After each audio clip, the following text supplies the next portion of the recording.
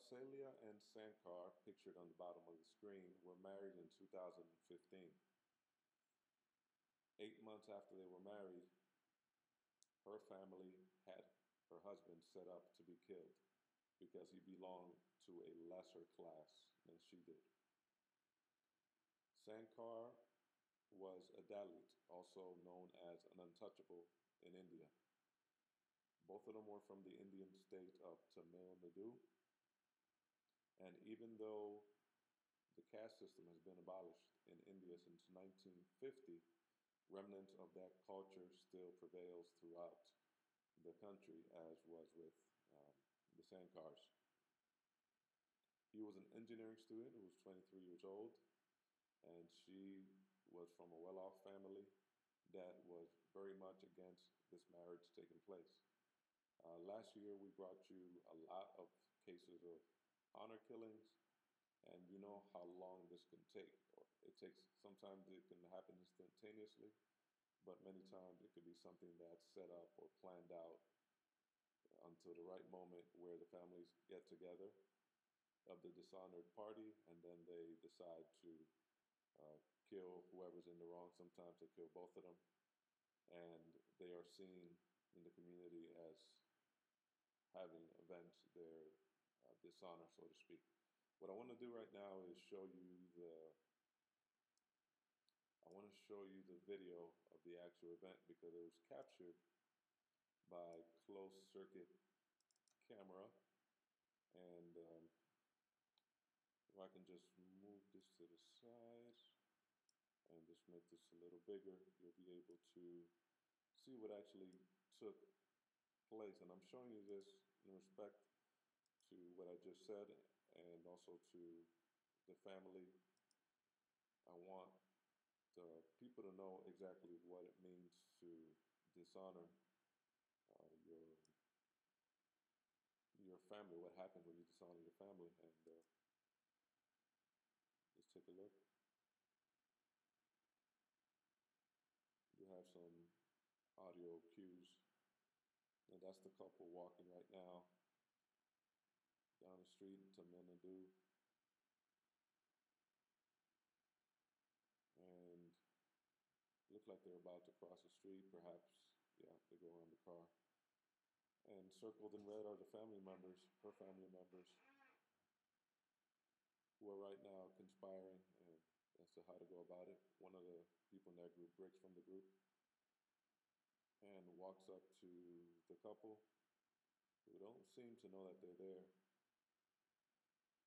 And uh, people picture on the motorcycle, they're on it too in a moment, you're going to see where one of them makes his move to the man in the blue shirt, which is her husband, and there it is. They knock him down,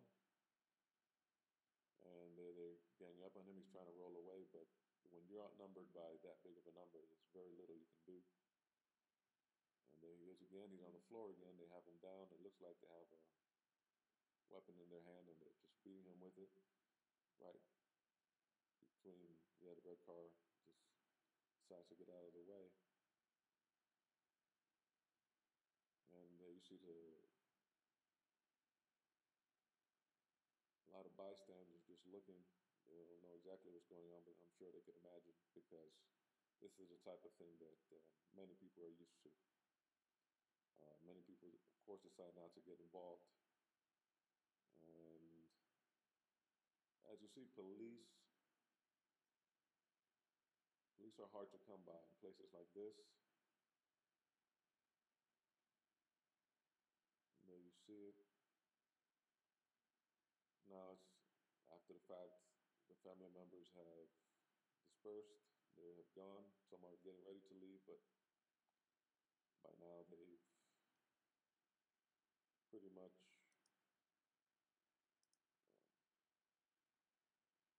um, gotten out of there and people are just trying to figure out what to do and what's happening.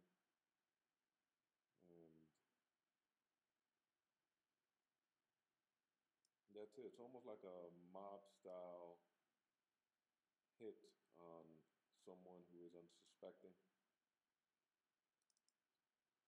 And this is what is done in the name of honor. There you see the couple again, and there you see some of the people that were apprehended, they were tried, and they were found guilty.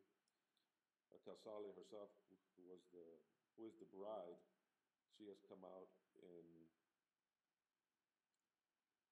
she has in support of the murdering of her father because he set up this um, this murder of her husband. And it's this kind of thing that uh, when you look at other cultures, you realize that they have their different customs. A lot of them are hard to understand. And this is part of the reason why a lot of things are hard to understand because if you come from a place like the United States, you realize that uh, they still have some ideas of who you can marry and who you're not allowed to marry, but it rarely ends in this type of violence. This is the kind of thing that uh, many people have to be silent about in countries like India, countries like Pakistan, countries like Bangladesh, where if your family is dishonored, you know that uh, something like this is uh, not too far behind. Um, when it comes to societies where your reputation is everything, this is the kind of thing that you're going to see happening and happening. And where you see people that many times they're just not used to settling difference in any other way, uh, but mostly because your reputation is just everything. They're watching you 24 7 just because uh, they want to know who are you doing, what are you doing, what you, who you're doing it with. So freedom is not your own. It's something that perhaps is taken for granted in places like the United States. But uh, when you look at societies like this, to keep it the way it is, what they do is uh, kind of take away that freedom, and your life is not really your own until you abide by whatever rules you're supposed to. If your family says you have to marry this person, you have to marry that person. If your family says you have to go to school or stay home at work or watch the kids, you just have to do it. And if you decide to go your own way or be your own person, then you risk the you risk losing your life. And that's something that perhaps we can't understand over here, but this is just exactly what happened. I'm sorry for the loss in this case for Mr. Sankar and uh, his wife Kausalya, who is still alive and has to live with the burden of knowing that her family got her husband killed. Uh, or perhaps the rules and the laws of the land in which they lived in also got him killed, and everybody shares a little bit of this responsibility. Um, this was a very young couple. They knew each other from the time that they were born, uh, or from a very young age, excuse me. And this was something that the family, his family, her family, excuse me, saw that it was something that needed to be done to avenge this act on her part. And that's all it was. It was an act, and uh, it's something that's understandable over there, but more and more people are waking up to the fact that this doesn't need to be. His wife has since become an activist. She still fears for her life because remember, there's still three members of this party, of this mob that ganged up on her, her husband, that were not, that were acquitted, did not uh, see any kind of conviction, who are now free to get another mob and do whatever they want to her. So, uh, again, this is these are things that are happening that we take for granted.